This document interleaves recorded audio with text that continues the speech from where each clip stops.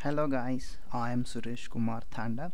Uh, I'm here to uh, give you some knowledge on business intelligence and this is a, a video series and this is the first session on business intelligence.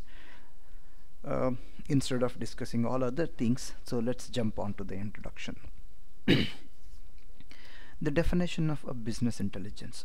Various people has defined the business intelligence in a different formats but uh, if you observe any of the definition and it finally tells you that the BI is used to take or make a better business decisions.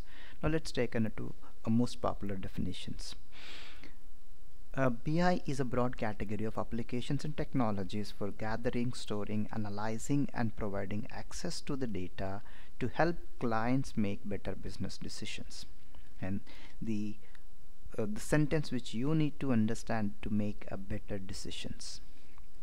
And the second definition also tells the same. It is a system of uh, collecting and integrating, analyzing and presents the information to support better decision making and the key terms here you need to understand is the data and the decision making.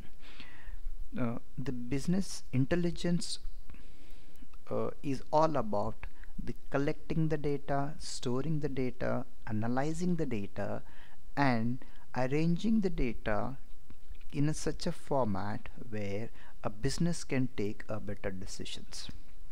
Then what is it? So as I explained you just now it's all about the data.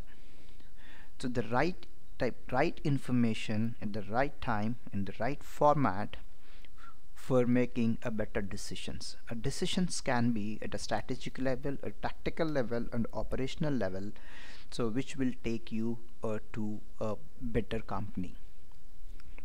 You take an example of uh, uh, the reducing the staff in a company so do I need to reduce the staff?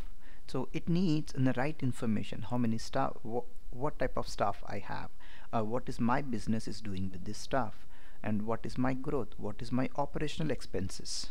So do I need to reduce it or not? So if you can provide the right information at the right time in the right format and which is matching to the uh, business data so you can take a right decision on that.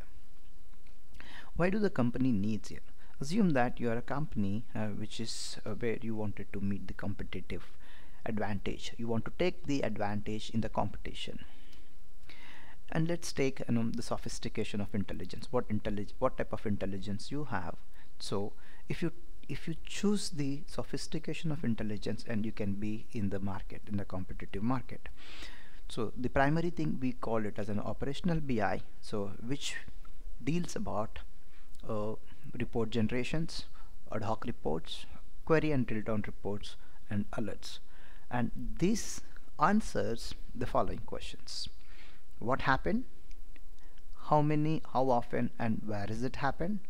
And where exactly the problem is, and what actions are needed. And this is the basic questions which are answered is called an operational BI. If you the how it is now now if you wanted to be in the market the more sophisticated and you will be in the competitive. That means if what or uh, if you take uh, the alerts now the, what actions are needed and if you are able to take an action when required then you will be more in the market. And what uh, oper what operational the operational BI is deals with you know data collection storage management analysis and uh, reporting and mining. So this is this deals the operational BI and there is another type of BI we call it as a tactical and statistical BI stat strategic BI and this involves like statistical analysis forecasting predictive modeling and optimization. This answers these questions like why is this happening? What if the trends continue what will happen next? What is the best that can happen? And so the more you are uh, in the if you wanted to be in the competition of the market then you need to uh, adapt the more of a strategic BI so so you you will be in the market if you are more into a predictive modeling and optimization. This deals with the concepts called data science machine learning statistical and predictive analysis. That's what the companies are needed the business intelligence. So this is more important and based on this you are going to take um, the business decisions which will help or which will grow the company. Let's talk about the capabilities of a BI what it can do. It collects the data that's as we discussed it's an operational BI uh, data collection storage and management. And very important thing as a part of a BI is extract transform and load. This is called an ETL there are a hell lot of ETL tools in the world we are also talking we are, we are going to talk about those in in in the coming sessions. And then data analysis. And this is where uh, people are uh, stuck with. So the data analysis means there is an it, it's in a big ocean. But you know basically what it has is like you know it's understanding your data spending most of the time with your data and what the data means and what how the data is used and what's wrong with the data what's right with the data what information I have with the data. So all you know digging into the data and do some analysis and spend some time and get friendship with the data and convert that into a right format which can be presentable this is another capability of your uh, uh, business intelligence. There are a lot of tools provided for data analysis instead of doing it manually. And a dashboard and a report generation. A presentation of your data after you have done your analysis and you can just give an overview of your data in in the pictorial format. And then data mining like you know predictive analysis. This is in a, tactical uh, BI you can do apply uh, you can use a lot of uh, the uh, data mining algorithms and do the data mining and come to a conclusion or you can predict what's going to happen. These are all the different capabilities of your BI and what are all those components you have here? You need to have the components are one of the components is called a data sources. And you will have a component called an ETL where the data sources means the different various forms of data. It can be any form whatever you have and and get the data and this is called a gathering the data and the transform the data using the integration tools that we call as an extract transform and load and then load the data into a data warehouse where it all the data is stored in the form of uh, tables or you can call it as in a dimensional model here. Or you know flat structure also you can say that. It's a data warehouse. From the data warehouse if you want to do the analysis and you can use the analytical tools like in cubes any type of cube you can use it and you can start doing your analysis. Convert the data which is in the flat form and convert into a, a dimensional model which will which makes you to do the analysis much faster slicing and dicing. And then present your reports. You present your reports using the pictorial format. And and with the same data warehouse you can also do a lot of mining to suggest the uh, management or to the business know what's going to happen in future. That's where data mining and by using a lot of um, analytical tools so data mining tools you can also present the data using an OLTP that's in a direct on your uh, flattened data. What you need to understand here is the key terms like OLTP and OLAP and ETL. OLTP is a transaction processing as and when the transaction is happened the data is stored. And that transaction can mm, can change any point of time. It can be cancelled or it can be reverted back and it can be it can do anything. And if I do the analysis with the transactional data so my reports cannot be the same at, at a particular point of time. So in the last hour if it is a no uh, in, if it shows my uh, profit and in the next hour it may show as a loss. Like if you take a share market every second the data changes. That is called a transactional processing. Like an OLAP means analytical processing. So this data is used for analysis. So the data what we are using is a stale data. That means which has the data at a particular point of time. And the data will not change. We call it as an historical data or OLAP data processing.